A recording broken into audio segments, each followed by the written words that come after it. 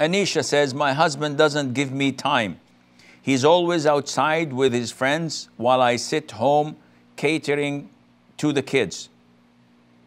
Every time this discussion comes up, we end up fighting. What should I do? Well, Anisha, I cannot answer you.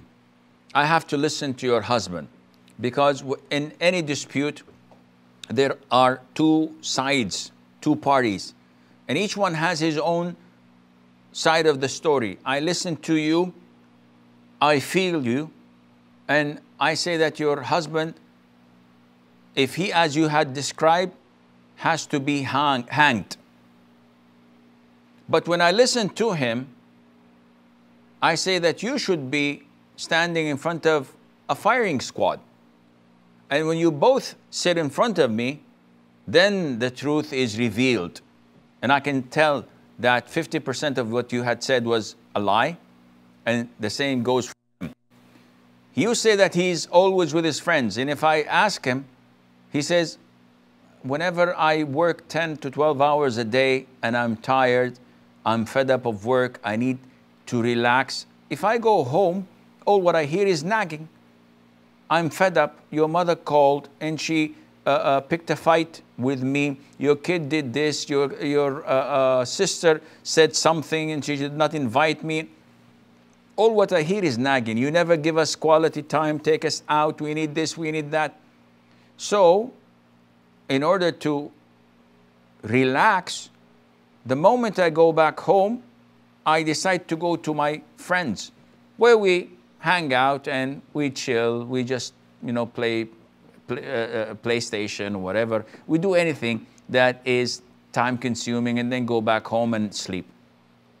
So probably, it, it, as they say, it takes two to tango. Maybe you are a part of the problem. Now, I'm not blaming you. Don't say that, oh, I'm the victim and now I'm being uh, uh, accused of causing. The, no, no, no, not, not, not that at all. I don't know your husband and I don't know you.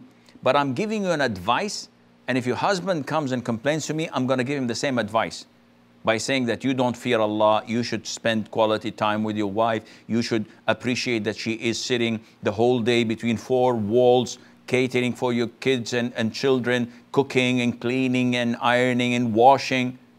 But it's not appropriate that I tell you this.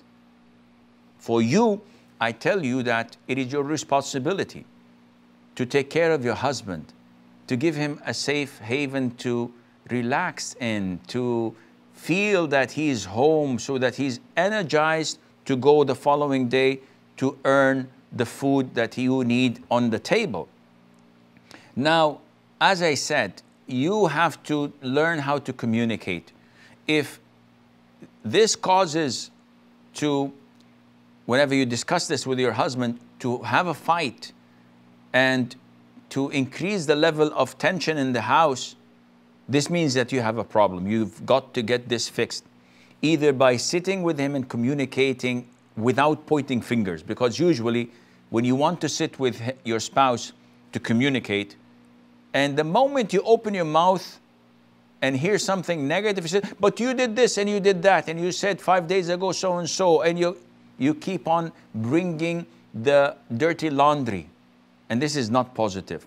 Therefore, you have to look for a way to communicate. If not possible, go both of you and sit with a Muslim marriage counselor who would listen to both of you and try to give you uh, a solid advice, inshallah.